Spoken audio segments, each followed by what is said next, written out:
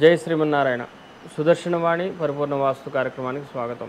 ద్వార నిర్ణయాలు చేసేటప్పుడు మనం చాలామంది కూడా గమనిస్తూ ఉంటాము పూర్తి ఈశాన్యం ద్వారాలు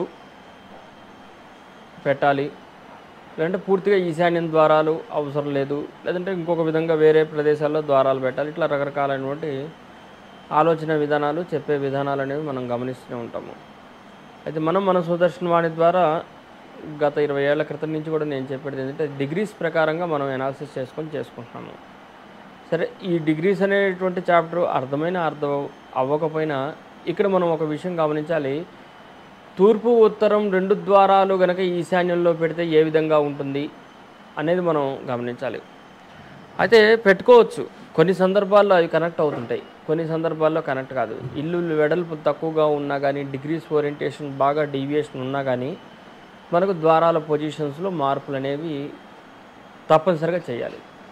ఇక్కడ మనం జాగ్రత్తగా కనుక గమనిస్తే ఇక్కడ ద్వారాలు తూర్పు వాకిలి ఈ విధంగా ఉంది ఉత్తరం వాకిలి ఆ విధంగా ఉంది ఆ తర్వాత ఉత్తరం వైపున సోఫా ఉంది దాని వెనకాల ఎటువంటి కిటికీ కూడా లేదు మనకు. గమనించట్లేదు. తూర్పు వాకిలి ఉంది ఉత్తరం వాకిలి ఉంది ఉత్తరం తూర్పు వైపున ఇంకో డోర్ ఉంది తూర్పులో ఇంకో కిటికీ కూడా ఉంది నా వెనకాల భాగంలో. సో ఇవన్నీ వరుసగా ఉన్నాయి. ఉదాహరణకి ఇప్పుడు ఈ ఎగ్జాంపుల్ జాగ్రత్తగా తీసుకుంటే ఇటీవల నేను మణుగూరు రావడం జరిగింది. మణుగూరులో ఈ వీడియో తీస్తున్నాను. ఇక్కడ ఈ రెండు తలుపులు కూడాను టోటల్ కార్నర్లో ఉండటం వలన సుమారుగా ఈ రెండు తలుపులు కనుక మనం దగ్గరికి వేసినట్లయితే ఉత్తర భాగం నుంచి తూర్పు భాగం వరకు కూడాను ఎటువంటి వెలుతురు లేకుండా మొత్తం మూతబడినట్టుగా అయిపోతుంది. అంటే ఏదైతే ఈ రెండు తలుపులు కనుక మనం మూత వేస్తే మొత్తం ఎక్కడ కూడాను మనకు సూర్యరశ్మి అనేది గృహం లోపలికి రావట్లేదు. మన టార్గెట్ ఏంటి? సుదర్శనవాణి ద్వారా చెప్పేది డిగ్రీస్ ప్రకారంగా మనం అనాలిసిస్ చేసుకుంటూ సూర్యరశ్మి గృహం లోపలికి ఆ వెలుతురు న్యాచురల్ లైటింగ్ అనేది మనకు రావాలి అనేది మనం చెప్పేటువంటి పద్ధతి. కాబట్టి ఈ రెండు తలుపులు మూత వేసి ఉంచితే అసలు సూర్యరశ్మి మనకి ఇంట్లోకి రాదు.